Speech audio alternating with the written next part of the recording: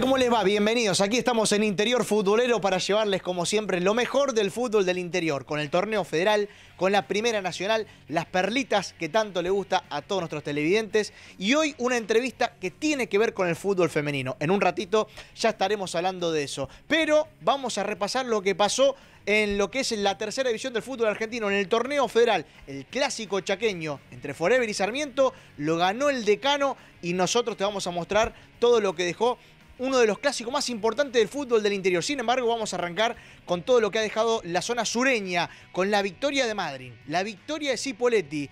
Y hay que prestar atención y vayan marcándolo bien de cerca porque el partido entre Independiente de Chivilcoy y Círculo Deportivo dejó sin lugar a dudas uno de los mejores bloopers del año. Así que vayan grabando el programa porque se viene un blooper tremendo. Y hay que decir también que ganó Ferro de Pico en condición de visitante frente a Estudiantes San Luis y dejó sin técnico al Albiverde, sin la dupla técnica de La Fuente y Aldo Paredes, que han dejado de ser los entrenadores de Estudiantes. Arrancamos de esta manera interior futbolero con la fecha del torneo federal.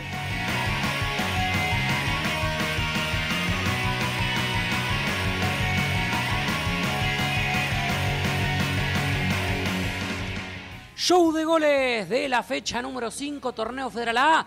Vamos a arrancar la recorrida en la zona sur, en San Luis, para ver al verde puntano Estudiantes y al verde piquense. Ferro de General Pico, que se iba a poner en ventaja a través de Brian Noriega, el santafesino, con pasado 9 de julio Rafaela, que marcaba los 15, el 1 a 0. Para la visita, Pablo Adasme. En propia valla, el arquero que salía mal, que no la podía agarrar, flojo de manos, el blooper del golero y el 2 a 0 para el equipo dirigido por Pablo Semeñuk, que volvió a ganar nuevamente en el certamen, pese a que Federico Basilchik y la ley del ex ponían en partido al equipo local, el equipo dirigido por Sergio de la Fuente y Aldo Paredes, que luego del partido dejaron el cargo tras un empate y cuatro derrotas en el campeonato. Hugo Garelli se va a hacer cargo interinamente para el duelo de Copa Argentina, también para el del próximo fin de semana iba a convertir Rickenberg, el ex Belgrano y Villamitre, el 3 a 1 y Agustín Casco la pinchaba para el 4 a 1 definitivo del verde piquense. Victoria de Sol de Mayo ante el por entonces líder Juventud Unida de San Luis. El Baby Morales marcaba el correntino el 1 a 0 para el celeste de Viedma. Iba a convertir Gobeto el 1 a 1 parcial el ex Chacarita para el equipo puntano, el de Piqui Mateo, que iba a caer por primera vez en el certamen, iba a abandonar la punta del campeonato por primera vez también en la competencia, le iban a marcar un gol, sino dos también, porque iba a aparecer en el final Marcos Cabrera en propia valla para el 2 a 1 del equipo del Tumba Corbalán, que derrotó al conjunto de Piqui Mateo. Ciudad de Bolívar cayó jugando en casa ante Chipoletti, único líder de la zona sur. El equipo Capataz, gracias a Juan Pablo Zárate del tanque, que iba a convertir desde el borde del área grande el 1 a 0 y el segundo bien de 9 rebotero. Iba a aparecer el goleador cordobés formado en Belgrano de Córdoba, con pasado en Villa Mitre para el 2 a 0 de Chipoletti. Emanuel décimo y el 1 a 0 para Desamparados. La pelota parada para los de Bobe. La ventaja sobre Olimpo en el Carminati. Nueva derrota del equipo aurinegro. No levanta cabeza pese a lo que decíamos anteriormente. Ratificado en el cargo Carlos Mayor. Continúa al menos una fecha más. El Coco Jiménez de penal. Y el 1 a 0 para Madrid ante. Polémico arbitraje de Joaquín Gil. Fue victoria del aurinegro que volvió a ganar tras reponerse tras caer en la fecha anterior. La ventaja para Círculo, Everushua desde lejos, el 1 a 0 a los 6 de la primera parte. Sin embargo, iba a aparecer el arquero Sergio del Curto. Con este blooper se durmía el golero de Círculo, histórico golero, muy buen arquero por cierto, pero en esta el grosero error para el tanto de Marcos Salvaggio, atento el hombre de Chivilcoy de Independiente para decretar el empate transitorio Aprovechaba la distracción del arquero. El 1 a 1 para el equipo local. Cocodrilo que se duerme es cartera, dijo Salvaggio. Puso el empate para los locales. Y Rodrigo Bernal sobre la hora iba a concretar para el 2 a 1 el delirio de todo Chivilcoy, el festejo de los jugadores y la victoria del equipo de Salvaggio. Peñarol de Chimbas ante Villamitre se iba a poner en ventaja el equipo sanjuanino. El penal de Tanner que iba de manera muy brusca sobre espejo que caía aparatosamente y cobraba. El árbitro del encuentro lo iba a cambiar por gol. Nelson da Silva, el ex All Boys y Juventud Antoniana, y el 1 a 0 para el equipo de Chimbas, el de Salvador Mónaco, que sin embargo no lo iba a poder aguantar porque iba a aparecer el goleador de Villa María, el Falucho, el viejo Falucho, viejo es el viento y todavía sopla, sigue haciendo goles. Carlos Adrián Herrera el de Villa María y el 1 a 1 para Villa Mitre. Los de Mungo que sumaron nuevamente ahora en la ruta ante Peñarol de San Juan. Ganó Huracán Las Heras y respira de esta manera el Lechuga Daría Alanis que venía en la cuerda floja. Aparecía Nicolás Inostroza de cabeza, solito y solo. Ingresó por el centro del área para convertir por la vía aérea el lateral volante por la izquierda con pasado en Gimnasia de Grima de Mendoza Juventud de San Luis el puntano de Villa Mercedes. El 1 a 0 para el Globo, que de esta manera se encamina, se acomoda en la zona que tiene como líder a Chipoletti con 13. No ha caído todavía en el torneo. Madrinés escolta, lindo partido. Próxima fecha, el de Chipoletti que va a visitar a Círculo Deportivo, que buscará su primer triunfo en el campeonato. Villamitre recibe a Estudiantes de San Luis con Garelli como interino. Sin embargo, el partido de la fecha es el de Juventud de San Luis, el equipo puntano, y Deportivo Madryn el destacado de la próxima, Sancinena recibe Olimpo en una especie también de duelo zonal clásico. Guantes de látex Dermisan. Guantes de látex reutilizables en armonía con el medio ambiente. Guantes Dermisan en dos variedades, antideslizante y texturado. Visite www.dermisan.com.ar. Y en interior futbolero seguimos con el torneo federal y vamos a repasar la otra zona en donde hemos tenido el gran clásico chaqueño. Fue victoria finalmente para el visitante, para Sarmiento, que venía bastante mal, que el conjunto de Forever venía mucho mejor, pero más allá de esa cuestión, el equipo visitante se terminó quedando con la victoria. Por supuesto, vamos a recalcar y a renombrar el gran inicio que está teniendo Racing de Córdoba, que no solamente que está puntero y no para de ganar, sino que tampoco recibe goles en contra. Todo eso y mucho más en esta zona norte del torneo federal.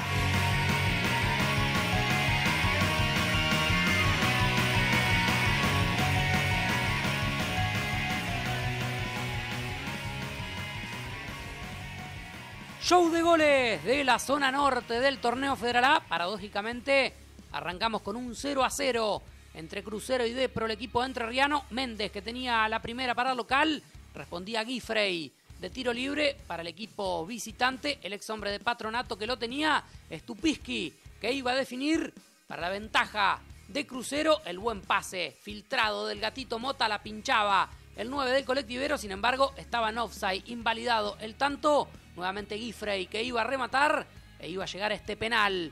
Para el equipo colectivero parecía que se quedaba con el triunfo el remate de Klusener, el Toti que remataba y el arquero David Correa que se quedaba con el disparo y también con el empate para Depro. Lo iba a tener Jorge Rossi, el canterano, eludía Bach que sin embargo no iba a poder definir, lo hacía de mala manera. Fue empate en cero entretenido entre Depro y Crucero del Norte.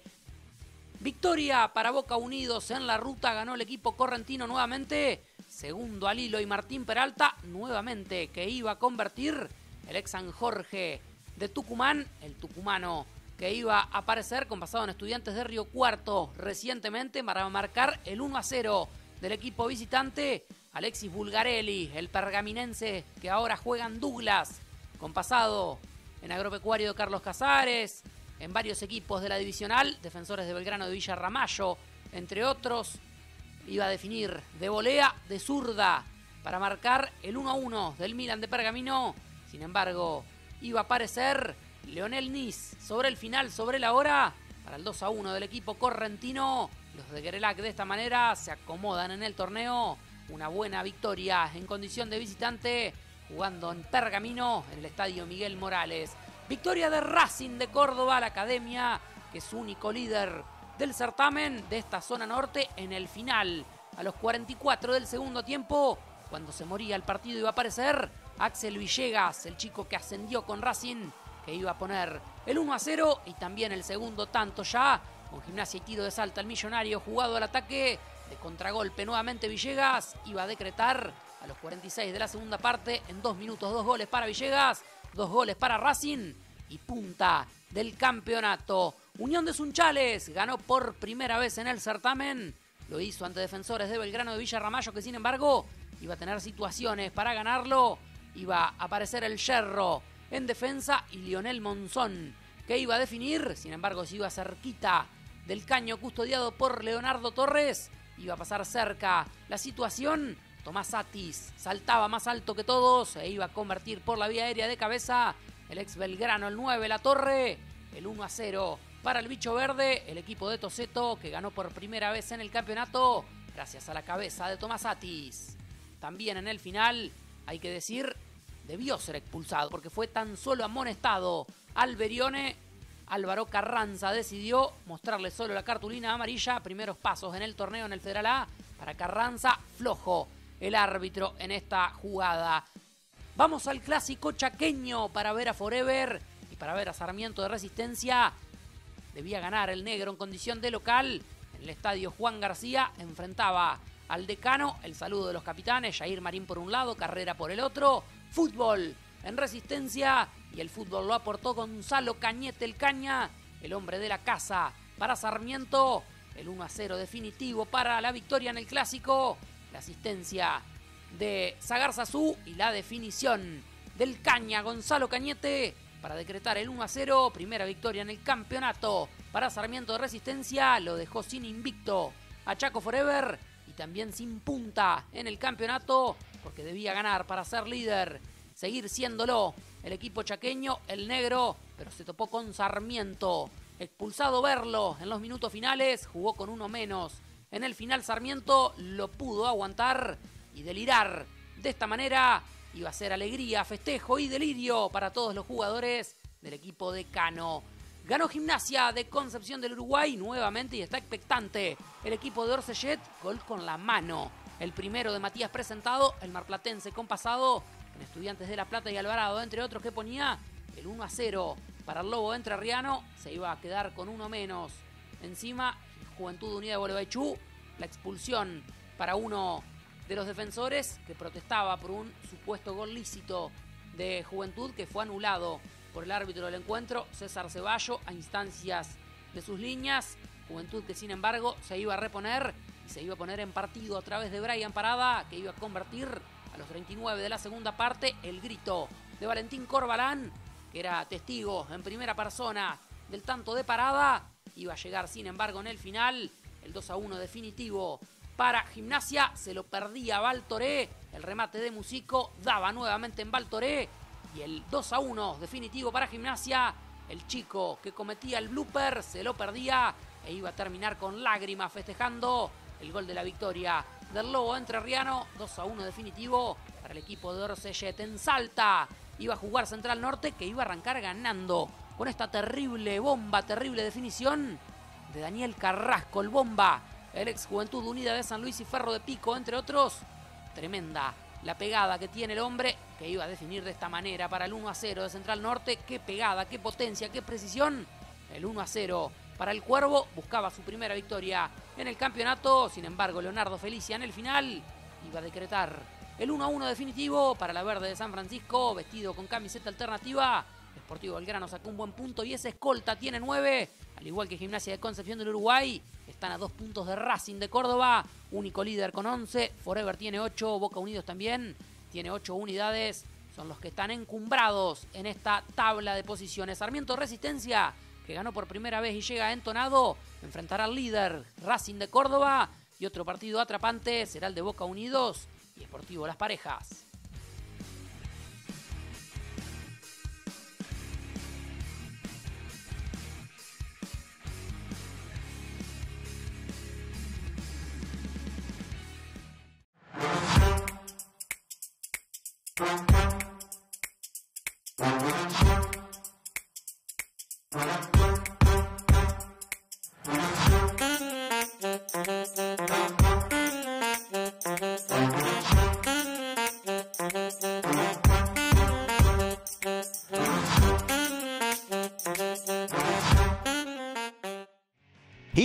La pausa tenemos mucho más aquí en Interior Futbolero Primera Nacional. Faltan las perlitas y la entrevista con Flor Santander, jugadora de la selección argentina, hoy jugando en Platense, salteña la muchacha, y estaremos repasando su historia. Corte y ya venimos.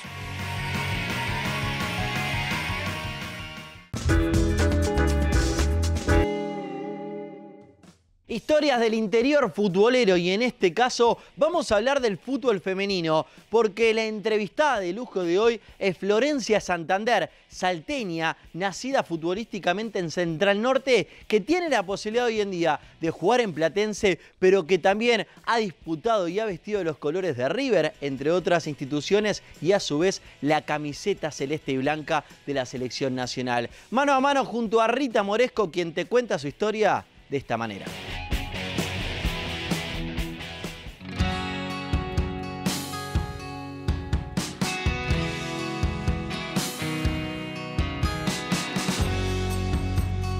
soy de Salta, empecé jugando en el barrio, después, bueno, eh, mi carrera, o sea, jugando en un club, empecé en Central Norte a los 12 años y ahí fui eh, desarrollándome hasta que, bueno, en un momento di un salto bastante grande. primero para el seleccionado salteño y después unas semanitas más para el seleccionado sub-17 después de cuatro años, creo, ese, eh, salgo de jugar un partido y me dicen, está citado para la selección, eh, para el seleccionado salteño. Y nada, después eh, me fui a probar a Tucumán para el seleccionado sub-17 y creo que había pasado una semana y me dijeron que había quedado. ¿Cómo tomaste esa, esa noticia, ese mensaje que te dieron? Y fue una emoción tenía, no, no me salían las palabras, porque era de jugar en central y jugar la liga y que nadie me veía, era una jugadora más, digamos. Eh, saltar a la selección fue una bomba.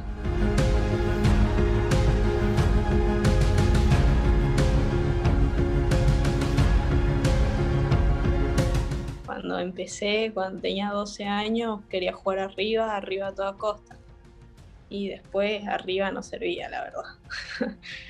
Eh, así que nada, vino una, ayudante para entrenarnos y me, y me, bueno, me probó de defensa empecé jugando de cuatro, me gustaba el puesto porque subía un poquito más, tiraba centro, esto, lo otro.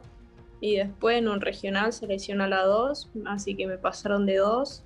Y bueno, y ahí ya después quedé de dos. Y, y era como que no sabía tanto qué hacía ese puesto, que solamente era reventar todas las pelotas. Y bueno, después le fui tomando gusto al puesto y, empezar a salir jugando, a tocar.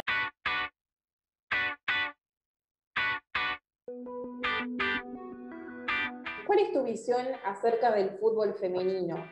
Eh, durante todo este tiempo ha estado evolucionando a pasos agigantados eh, y de hecho las chicas siempre son noticia, pero ¿cuál es tu visión? ¿Qué otras cosas quedan por pulir? ¿Qué diferencias notas en relación al fútbol masculino? Y hay que darle un poquito más de importancia, porque, o sea, en lo futbolístico las chicas están entrenando muy bien, se trabajan muy bien toda la semana, de lunes a sábado, solamente tienen un día de descanso o mayormente ahora los fines se juega.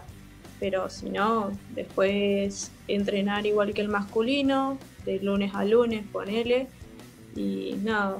Pero sí hay que darle un poquito más de bolilla, creo. Y la verdad que en Buenos Aires juegan muy rápido. Eh, allá el fútbol es más lento y nada, allá eh, hay cero bola en el femenino hay clubes que no le dan ni indumentaria a las chicas y después la liga también poco y nada, pero bueno, ojalá que en algún momento se den cuenta y, y pueda seguir creciendo el fútbol del interior.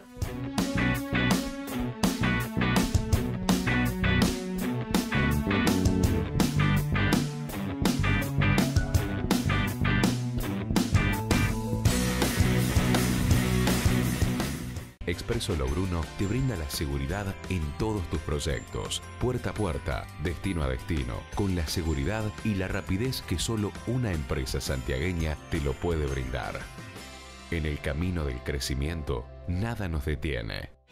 Y llega el momento de la segunda división del fútbol argentino, Primera Nacional aquí en Interior Futbolero. Vamos a ver lo que pasó en las dos zonas, pero ahora en la zona donde estuvo la victoria de Alvarado de Mar del Plata. Tremenda victoria en condición de visitante, como así también San Martín de Tucumán, que le ganó Belgrano y lo dejó sin técnico, porque Orfila dejó la conducción técnica del elenco cordobés. Además, toda la fecha, como el empate de Maipú contra Mitre, todo eso y mucho más, ahora en el show de goles.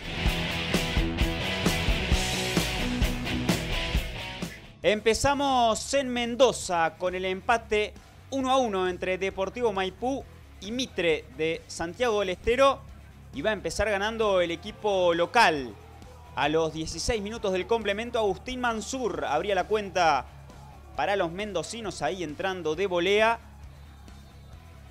Pero apenas dos minutos más tarde, después de una pifia ahí en el defensor, el que va a convertir es el gran goleador Pablo Palacios Salvarenga. Ahí ante la salida el arquero volado para el empate que terminaría siendo final. Otro duelo entre grandes del interior. Y en este caso fue victoria de San Martín de Tucumán, 1 a 0, visitando a Belgrano de Córdoba. Juan Imbert, a los 15 de la etapa inicial, marcaba el único tanto de la tarde cordobesa, llegando a su tercer tanto en el torneo. Donde no hubo goles fue en Carlos Casares. 0 a 0 igualaron a Agropecuario y Estudiantes de Caseros. El Sojero empató sus cuatro partidos como local en el presente torneo y no gana hace cinco fechas. Mientras que es el tercer empate del pincha en el certamen. El que ganó y se subió a la punta en soledad es Atlanta, que goleó 3 a 0 como visitante a Temperley Riquelme. Román, no, Sebastián Riquelme. A los 33. El primer tiempo marcaba el 1 a 0 para el Bohemio. Que decíamos, superó en la tabla de posiciones a Tigre. Aunque claro, el matador tiene un partido menos. Porque quedó libre este fin de semana. El segundo tanto, Fabricio Pedroso. Apenas comenzado el segundo tiempo a los 3. Del complemento, tiro de esquina. Primero el cabezazo, el rebote del arquero y ahí aprovechaba tras la flojita respuesta de Papaleo. Y el tercer tanto va a llegar en tiempo cumplido ya, casi sin grito de gol, Joaquín Ochoa Jiménez. Convertía de zurda, linda definición ahí desde fuera del área para el triunfo que mete en la punta a Atlanta. En Río Cuarto, Estudiantes, el local, empató 1 a 1 ante Chacarita. La visita, que suma tres fechas sin ganar, abrió la cuenta a los 19 del primer tiempo de penal. Rodrigo Insúa, después de la clara falta ahí que veíamos que sancionaba el juez, el árbitro del partido Mariano González. Y la apertura del marcador, pero seis minutos más tarde, a los 25 del primer tiempo, tremenda explosión del balón en el travesaño y después en el rebote, Franco Pardo igualaba para Estudiantes que sumó su cuarto empate en el torneo y tiene 10 puntos. Ahí el León buscando volver a tener una chance inmejorable como la que tuvo el año pasado de ascender a la Liga Profesional de Fútbol. Partidazo en el sur del conurbano. 4 a 3. Le ganó Alvarado a Quilmes. Empezaba ganando el equipo visitante con este gol de Marcos Astina, claramente habilitado. Y el gol a los 24 del primer tiempo. Facundo Pons. 11 minutos más tarde ponía el 1 a 1 parcial para el cervecero que sumó su segunda derrota consecutiva. El Torito por su parte consiguió su segunda victoria consecutiva. Realidades diferentes de uno y otro lado, pese a que el partido se ponía a cuesta arriba para Alvarado porque lo iba a dar vuelta a Quilmes con este gol que, a ver, se lo terminamos dando en contra a Pedro Fernández, pero la realidad es que el jugador de Quilmes buscó el remate al arco, por lo cual para mí cuenta para el jugador de Quilmes. Dos minutos más tarde, Leandro Navarro empataba rápidamente Llegaba la reacción de Alvarado y el 2 a 2 antes del cierre de la primera mitad. A los 6 del complemento volvía a ponerse en ventaja Alvarado como al principio del partido. Marcos Astina otra vez, el que había puesto el 1 a 0 en los primeros minutos de partido. En esta ocasión ponía en los primeros minutos del segundo tiempo el 3 a 2 para el conjunto de Mar del Plata. Hermosa la definición ante la estirada de Rodrigo Saracho. 3 a 3. Se va a poner muy rápidamente Quilmes. Partidazo, lo dijimos. No decepcionaron para nada. Aquí Julián Boneto.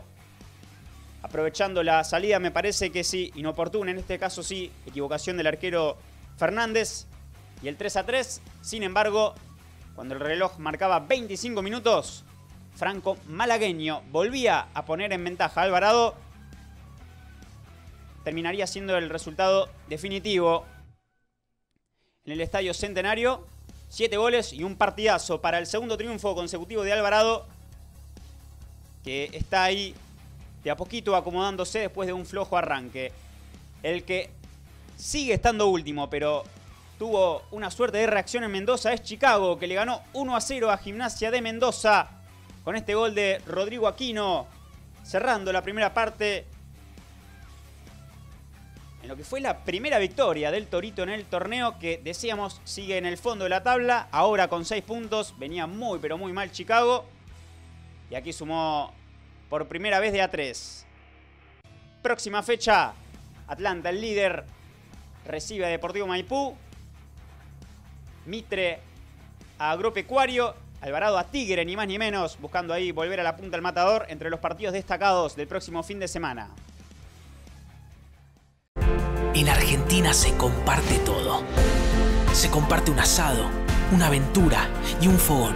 Se comparte con amigos, con vecinos y con esa persona que estás a punto de declararle tu amor. Y siempre, pero siempre, se comparte en familia. Eso es sagrado. En todas las provincias, en todos los pueblos, porque se comparte en todo el país.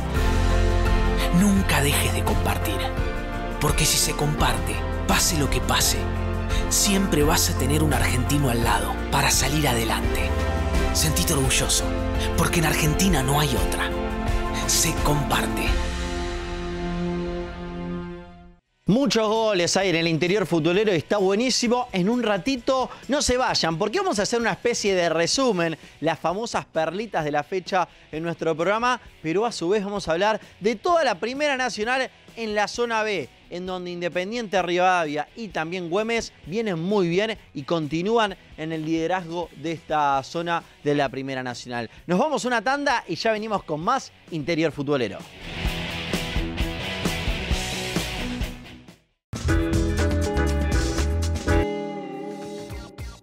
¿Y qué pasó en la otra zona de la Primera Nacional? Bueno, ganó Independiente de Rivadavia en condición de visitante, sigue luchando y sigue estando en lo más alto de la tabla de posiciones junto a Güemes, otro de los equipos que empató frente a Brown de Adrogué en esta nueva fecha de la Primera Nacional. Hay que decir que ganó Instituto en condición de visitante frente a All Boys. Estuvo Marcelo Vázquez, pero no en el banco. Marcelo Vázquez, ex entrenador Estudiante Río Cuarto, ahora nuevo y flamante entrenador de Instituto. Y vamos a estar viendo absolutamente todo lo que ha dejado esta zona también de la Primera Nacional.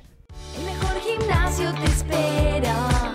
Elegí las clases que quieras. En Unfit vamos a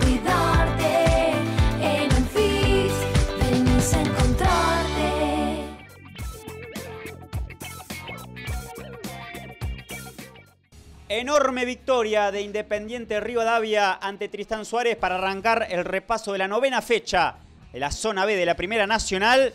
Sí, el equipo mendocino volvió a la punta aprovechando su triunfo y el empate de Güemes, pese a que empezaba perdiendo porque Brian Oyola a los 23 del primer tiempo ponía en ventaja a Tristán Suárez. Sin embargo, en el segundo tiempo va a llegar la enorme reacción del equipo mendocino. Primero Matías Quiroga a los 7 del complemento empatando para la lepra. Llegando este jugador a su tercer tanto en el torneo. Y atención, 35 minutos del complemento. Cae el jugador ahí en el área. El árbitro Comezaña sanciona penal para Independiente Rivadavia. Y lo traba ahí abajo. Me parece que hay infracción ahí abajo. Primero habían reclamado mano. Después la, falta del penal y el gol de Diego Cardoso a los 36 para la victoria de la Lepra, que lo decíamos, es líder nuevamente. Ahora con punta compartida con Güemes de Santiago del Estero. Ya estaremos repasando lo del equipo santiagueño, pero primero nos metemos con el 0 a 0 de Morón. Recibiendo a Guillermo Brown de Puerto Madryn. El gallo no gana hace seis partidos. Mientras que es el quinto empate del equipo de Puerto Madryn en el torneo que aún sigue sin ganar. Sí, no viene muy bien la cosa para Guillermo Brown. En este caso al menos sumó de visitante. El que ganó nuevamente y se va prendiendo de a poquito es Ferro, 1 a 0. En este caso recibiendo Atlético Rafaela. Golazo, sí, tremendo gol de David Gallardo a los 27 minutos del primer tiempo. Con esta bomba desde lejos. Y la victoria para Ferro. El que también ganó es Instituto de Córdoba 2 a 1. Visitando al Boys. Enorme triunfo de la Gloria. Ignacio Huguenet abría la cuenta a los 21 del primer tiempo. Instituto que fue observado por Marcelo Vázquez, nuevo técnico, cuya palabra estaremos escuchando después de este partido. En esta ocasión, Instituto fue dirigido por Claudio Sarría y Daniel Jiménez, ambos interinos.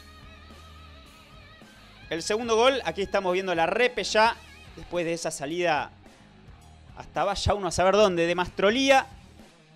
La jugada continuó y Joaquín Mateo marcó de esa manera el 2 a 0 para Instituto. Axel Rodríguez descontó en tiempo cumplido para el Boys, que sigue prendido ahí arriba. Dejó pasar una chance inmejorable de subirse a la punta. Chicos hicieron un gran trabajo, estuvieron muy bien, eh, muy ordenados, muy sólidos, jugaron con mucha eh, intensidad, con mucho coraje el partido y creo que fueron justos ganadores. Es más, no tendrían que haber terminado sufriendo, al contrario, podrían haber hecho un golcito más. Como cuerpo técnico es un salto en nuestra carrera, es un desafío importante en un club tan grande. Eh, hoy creo que que los jugadores han demostrado que están muy bien y eso a nosotros nos da tranquilidad también para empezar. Eh, obviamente que, confiamos mucho en ellos, eh, agradecerle a la comisión directiva que haya confiado en nosotros y, bueno, nada, lo único que tenemos que hacer es demostrar y, pelear cosas importantes con esta institución, que es lo que venimos a buscar. Creo que nos agarra en un muy, buen momento como cuerpo técnico, eh, venimos de una institución que peleó cosas importantes, que no lo pudimos cristalizar, pero, pero bueno, nada, estamos muy bien, estamos convencidos de que tenemos un gran plantel.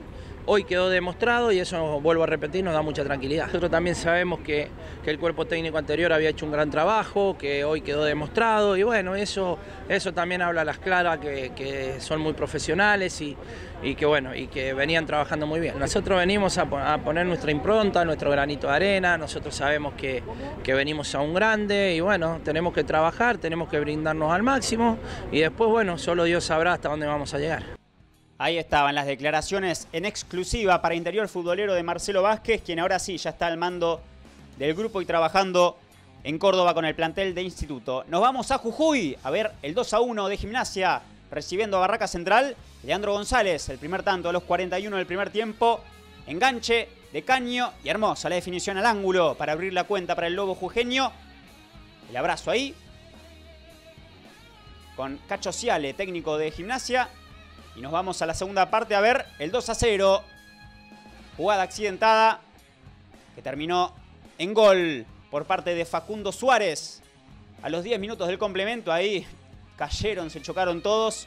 Y apareció solito, casi en el área chica Suárez, para marcar y después festejar con bailecito y todo ahí en el estadio 23 de agosto. A los 32 llegó el descuento de Barracas mediante Facundo Stable. Después del envío aéreo al área, el rebote que apareció allí en el fondo.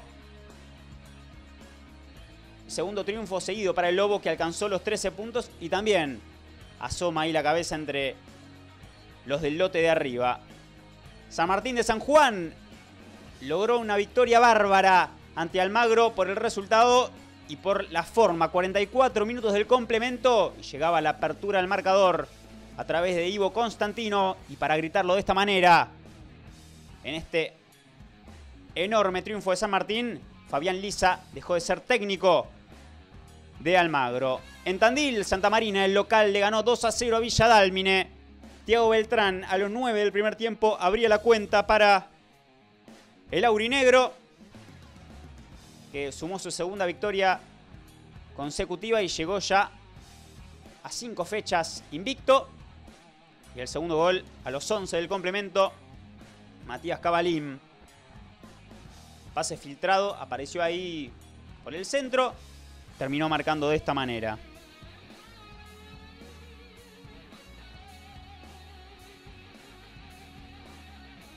Y lo prometíamos hace un ratito, el empate de Güemes ante Brown de Adrogué en Santiago del Estero, dejando el gaucho pasar algunos puntos. Ocasión aprovechada, claro, por Independiente Rivadavia, que lo alcanzó. Empezaba ganando con el gol, cuando no, de David, la bestia Romero, el gaucho, a los 42 del primer tiempo. Y parecía, sí, parecía que se llevaba la victoria. Sin embargo, a los 44 del complemento, a un minuto del final, va a llegar el empate. Valioso empate para Brown, también muy prendido ahí arriba. A tres puntos de los líderes. Matías Sproat marcaba para el equipo vestido de celeste y negro. Que lo decimos, está igualado a tres puntos de los líderes junto al Boys con 15 unidades. Importantísimo el triunfo para el equipo de Pablo Vicó. Y sí, las caras bajas del lado de Güemes, que parecía que se lo llevaba y terminó perdiendo dos puntos. Y con este, no sé si blooper, pero con este remate a cualquier parte, vemos y se describe un poco lo que fue el 0 a 0 entre Defensores de Belgrano y San Telmo. No hubo goles, sí, muchas pelotas por las nubes. Aquí veíamos otra linda jugada individual después. La definición que no iba al arco. La tabla, Independiente Rivadavia y Güemes líderes con 18. Siguen de cerca al Boys y Brown de Adrogué con 15. Santa Marina y también Ferro allí ya asomando cerca de los de arriba. La próxima fecha, entre los destacados Ferro, al que mencionábamos, visitará a Brown de Puerto Madryn. Güemes Hará lo propio contra San Martín de San Juan e Independiente Rivadavia recibirá a Gimnasia de Jujuy.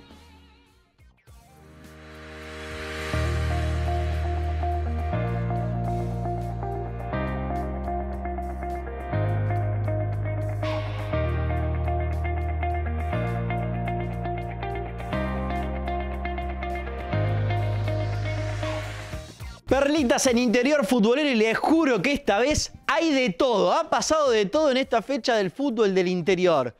Perros que van de acá para allá, que se levantan, que se suben, que se bajan y el alcanza pelota no lo puede alcanzar. A su vez, arqueros que se quedan dormidos. Y eso produce, por supuesto, lo peor que puede recibir un arquero, que es un gol en contra. Bueno, todo eso y mucho más, además de golazos, burradas, bueno, todas las perlitas en el siguiente informe. Interior futbolero te trae lo mejor de la semana y arrancamos con las perlitas. Lo que pasó en San Luis entre estudiantes y Ferro de Pico. Ganó Ferro 4-1, sin embargo, todas las miradas se las llevó este protagonista, este Can, que iba a ingresar al campo de juego e iba a mostrar mucha velocidad, mucha gambeta, reacción, inteligencia, porque miren cómo lo iba a esperar al ayudante y salía rápido nuevamente, lo encaraba. Ahora sí, parece que lo iba a detener, que lo iba a agarrar, se dejaba acariciar el Can, vivo él, sin embargo, Ole rápidamente salía para eludir al ayudante, le hizo pasar una mala tarde en San Luis al hombre que daba una mano para el equipo local. Burradas de la semana, el remate de Viganoni que iba a aparecer para el gol. En este caso de Damián Baltoré, que primero se iba a perder un gol increíble, pero iba a tener rápida revancha de manera prácticamente involuntaria. Le iba a rebotar el tanto, el llanto y la victoria para Gimnasia de Concepción del Uruguay de la mano de Baltoré, que si no fuera por el gol iba a estar más adelante con el blooper.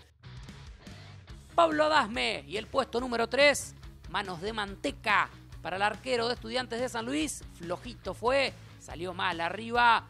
Iba a decretar de esta manera el segundo tanto de lo que fue goleada para Ferro de Pico ante Estudiantes de San Luis. Marcos Cabrera iba a definir de una gran manera, premium caviar de talla internacional la definición, una especie de grulla para el tanto, sin embargo, en contra de Cabrera, que dejó a Juventud Unida de San Luis sin punta y sin invicto. Sergio, Sergio, los gritos de la gente y también de sus compañeros intentando avivarlo a Del Curto.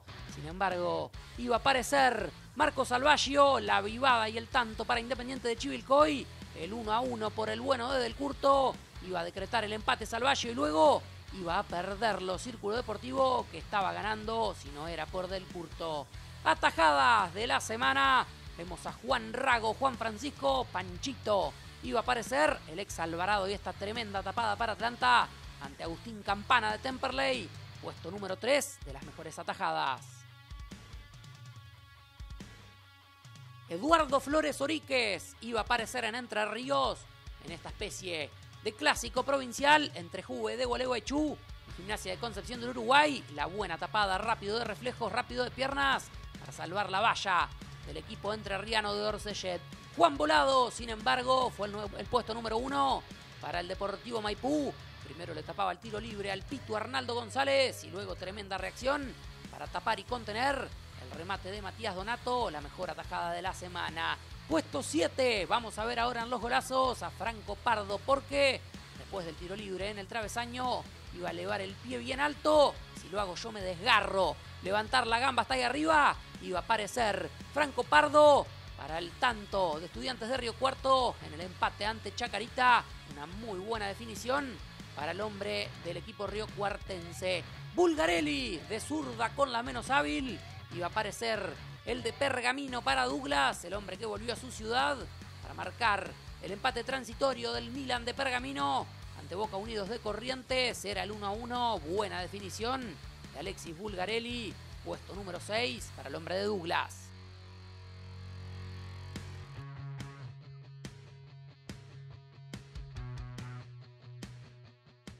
Puesto 5 y aparece Riquelme. Y no es Juan Román, sino su hermano que iba a aparecer para sellar y sentenciar esta linda jugada colectiva de derecha a izquierda. El tanto de Atlanta el 1 a 0 parcial, iba a terminar 3 a 0 el partido. Apareció Riquelme y con ese apellido, como para no poner esa frutillita del postre en la victoria de Atlanta. El bomba Carrasco apareció. Buena definición de Bombín, mejor puesto que nunca. El apodo para él, vaya pegada, vaya calidad, vaya remate y vaya potencia para el Bombín Carrasco. Y el tanto de Central Norte, la victoria transitoria parcial ante Sportivo Belgrano de San Francisco.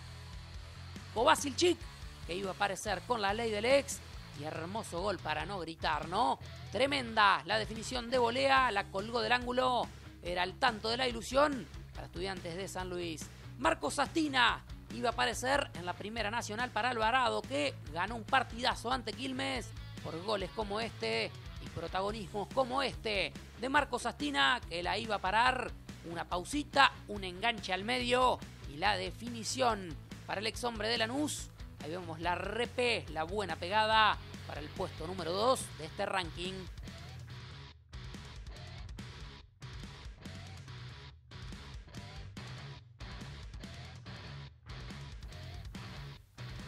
Y ustedes me dirán, ¿cómo que hay uno mejor?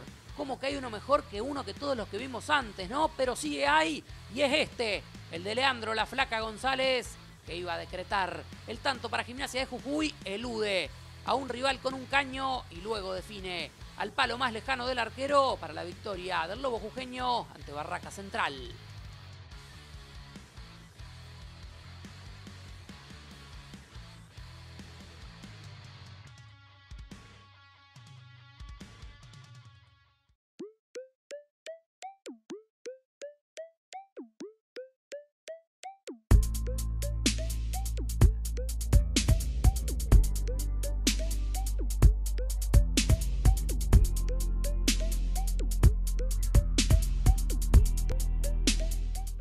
Se nos fue la hora viendo tantos lindos goles, la fecha de la Primera Nacional del Torneo Federal, las perlitas. Pero lo que no se nos van son las ganas de darles camisetas a ustedes, a nuestros fieles seguidores. Por eso es que acá tenemos la camiseta de Douglas de entrenamiento que nos da la gente de Coach. Muy linda la pilcha. Es verdad que no ganó el fin de semana Douglas, pero premio consuelo, inclusive para los fanáticos del fútbol. Ustedes también se pueden anotar, aunque no sean hinchas del fogonero. Pero miren qué linda para ir a jugar el fulbito con los amigos. Bueno, muy linda la camiseta de Douglas de entrenamiento. Así que gracias a la gente de Coach, ustedes se anotan en nuestras redes sociales, en nuestro Instagram, Facebook o Twitter. El próximo miércoles los esperamos con más fútbol del interior aquí en nuestra casa en TLT Sports. Chau, chau.